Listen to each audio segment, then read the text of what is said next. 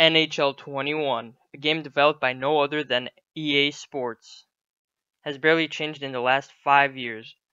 Sure, no EA Sports games change drastically every year, but games like FIFA at least improve their graphics, or any other sports game that EA creates. But NHL 21 has the same graphics as NHL 14. Literally every single NHL from 14 to 21 has improved their graphics slightly, their faces, but no other graphics have been improved. This is a comparison between NHL 21, 20, 19, and 18. They look exactly the same. And this is a comparison for FIFA.